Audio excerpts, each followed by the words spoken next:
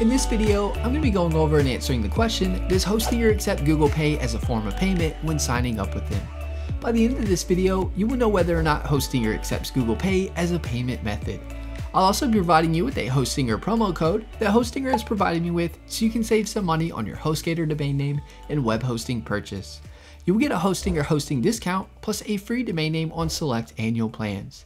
To take advantage of the Hostinger discount, just click the link in the description below and enter the promo code I provided next to the link at checkout.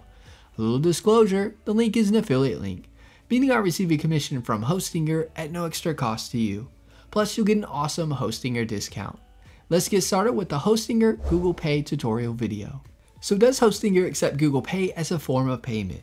Yes, Hostinger does accept Google Pay as a form of payment. Now let me show you how to pay via Google Pay on Hostinger.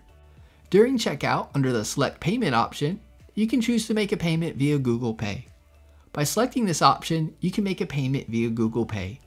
Once you're ready to check out, you can click the Submit Secure Payment button at the bottom of the checkout and you will be taken to where you can make your Hostinger payment via Google Pay. That's all there is to it. I hope this Hostinger Google Pay video helped you answer the question of whether Hostinger accepts Google Pay as a form of payment. If you haven't already, give this video a thumbs up and subscribe to our channel for more hosting video tutorials.